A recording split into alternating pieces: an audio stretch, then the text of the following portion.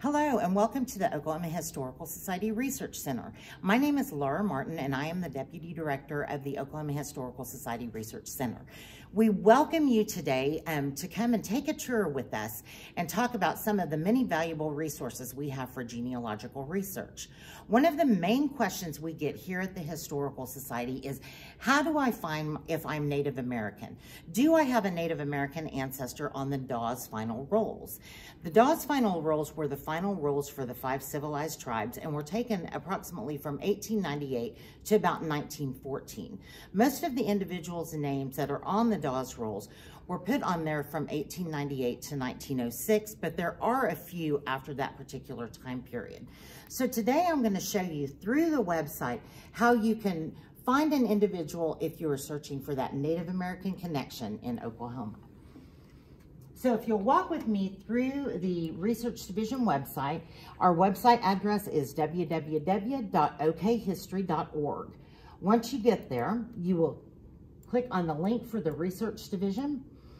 You will find the Dawes final rolls here. For today, we are going to be searching for Henry, I'm sorry, let's search William. We'll search for William H. Martin.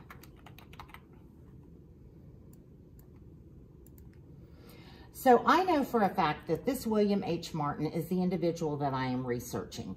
So as you can see here, it will give you the name of the individual. As I mentioned before, it is very important to remember those dates that the Dawes Commission uh, took the final rolls from 1898 to 1914. This is going to be the age, their age in approximately 1902.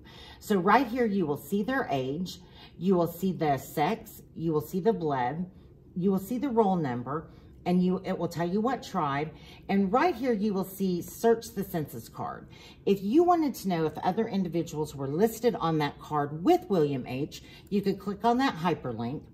And right here, it is going to tell you that William H. Martin and his wife and all of his children are listed on the roll. So if you if you are trying to find a connection to that Dawes rolls, please come in and look at our Oklahoma Historical Society's website and let us help you take the mystery out of your family history.